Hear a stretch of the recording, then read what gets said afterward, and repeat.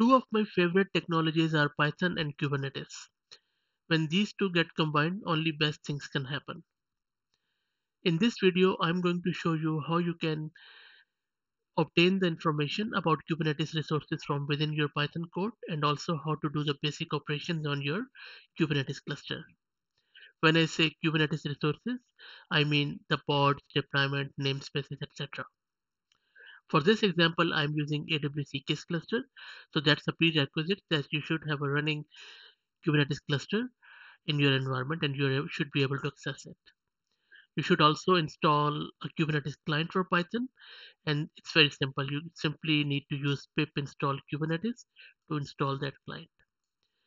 I'm also using kubectl utility for this demo purpose to show you how it looks like from the kubectl.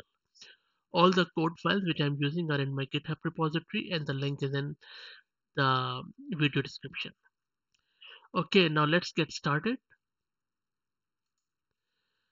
So in this code chunk, let's review it line by line. The purpose of this code is to obtain or retrieve the information about EKS cluster nodes from within my Python code. Now let me walk you through line by line from um, about this code. For the first two lines, all I'm doing is importing some packages and clients. So the first package is sys, and then I'm importing the client from my Kubernetes package, which we installed with the pip command. Afterwards, I'm using load underscore kube underscore config, which will load the configuration from a cluster from a local kubeconfig file. If you want, you can also use remote kubeconfig.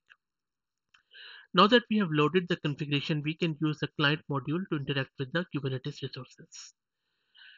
At line number 6, we are instantiating core v1 API class from the client module. Once you are done with line number 6, then you can freely use the functions from this package.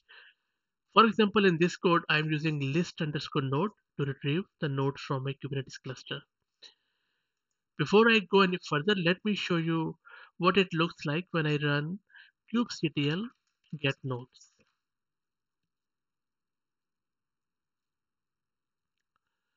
So as you can see, I'm running EKS Fargate for this demo and we have around five Fargate nodes running and we want to obtain same information from our Python code.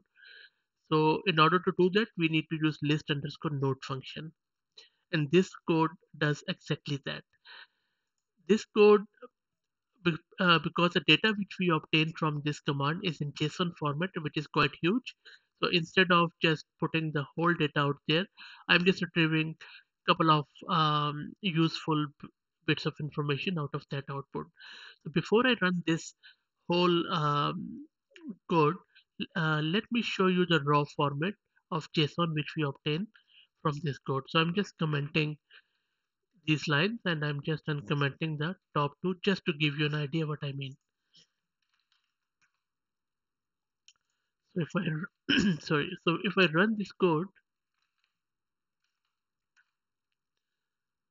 this should give me a long JSON output. As you can see, this is almost everything which is associated with this node, which is quite large. So instead of using that, all I'm doing in my code, retrieving the information which I need. So let me comment this again and uncomment my previous code. So as you can see, I'm using JSON notation to retrieve the host name of this node and OS image which is being used and then all the addresses which are present. So let's run this and see what happens.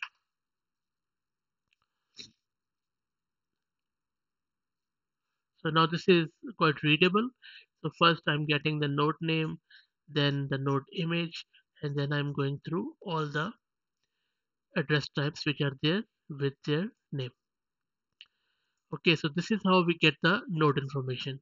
Now let's check another code chunk where we can get the namespace information. So let me go to another code file.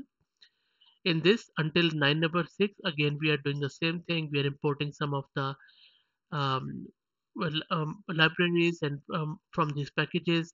Then we are loading the kubeconfig file and then instantiating our client.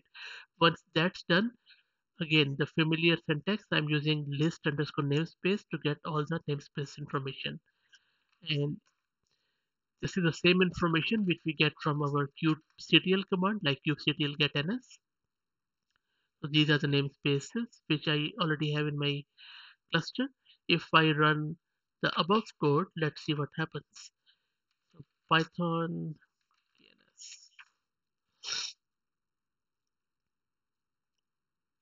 Yes, as you can see, I'm just printing the namespace here and then this namespace thing it gives me a whole lot of information so instead of printing all of it let me print only the namespace name so I will clear my screen and run this code again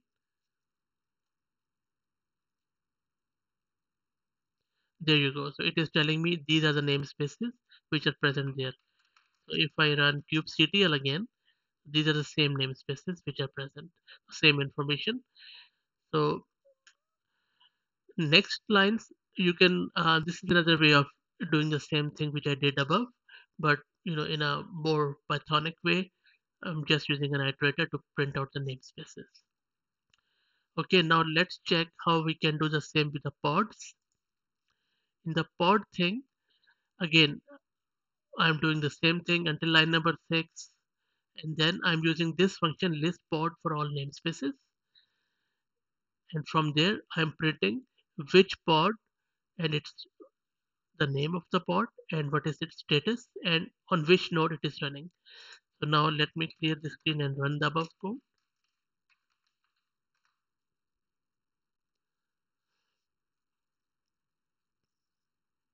Okay, so it is showing me that I have around five pods running on these Fargate nodes, right? And similarly, you can obtain a lot of other information as what is the container image this pod is running, um, which namespace is it in, and so on and so forth. So you can see how easily we can programmatically obtain this information from Kubernetes by using this client. Now let's also do uh, create a pod by using this client. Let me clear the screen. Okay, so in this code chunk again, the first two lines, uh, sorry, the first six lines are related to um, importing stuff and then loading the kubeconfig and instantiating our core API. After that's done, we need to create a pod. And you know that pod is the smallest unit in Kubernetes and it is it acts as just as a envelope or encapsulation or abstraction on top of the containers. So pod is a specification of a container in this specification we do it in deployment. But in this case we are keeping it simple. We are just using pod and its related related container. The first thing we are doing in line number 8 we are from line number 8 to 10 we are just specifying which container we are using its name and its image i'm just using busybox as a test afterwards i'm just throwing it in our container array because the later on function needs uh, this container in an array format. After that, I'm specifying my pod specification. In pod specification, all I'm doing is just giving it the namespace name. I'm putting it in the default one, and I'm giving the pod name, uh, the container, uh, the pod name as busy pod. Once that's done, I am giving it the pod body. So the client.v1 pod. This is the same YAML uh, manifest uh, syntax which we use. So API version, kind is pod, and then the container image and the container specification with the pod. So this goes into this pod body.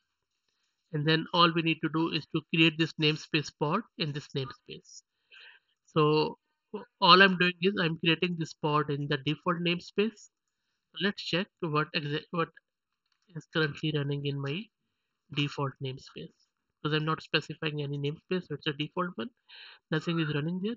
So let's run above code and see if it creates our pod.